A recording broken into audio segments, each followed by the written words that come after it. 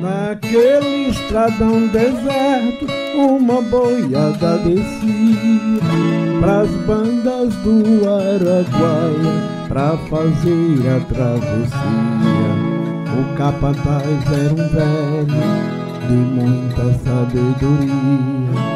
As ordens eram severas e a pionada obedecia. O ponteiro, moço novo, muito desembaraçado, mas era a primeira viagem que fazia nesses lados.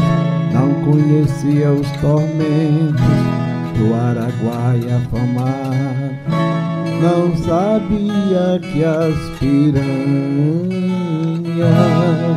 eram um perigo danado. Ao chegarem na barranca, disse o velho boiadeiro: Derrubamos um boi na água, deu a ordem ao ponteiro. Enquanto as piranhas comem, temos que passar ligeiro. Toque logo esse boi velho, que vale pouco dinheiro.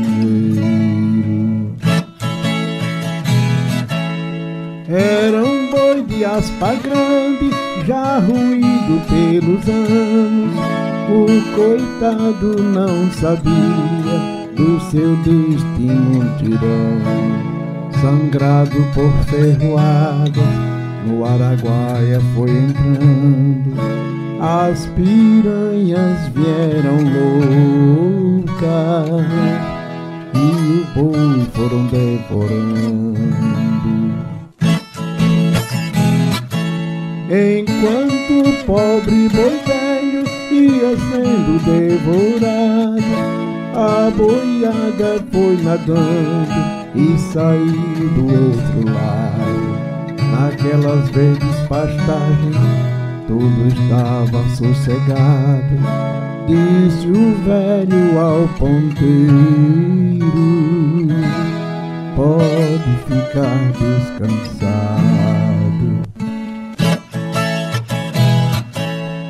O ponteiro revoltado disse que barbaridade Sacrificar um boi velho pra que esta crueldade Respondeu o boiadeiro, aprenda esta verdade Que Jesus também morreu pra salvar a humanidade.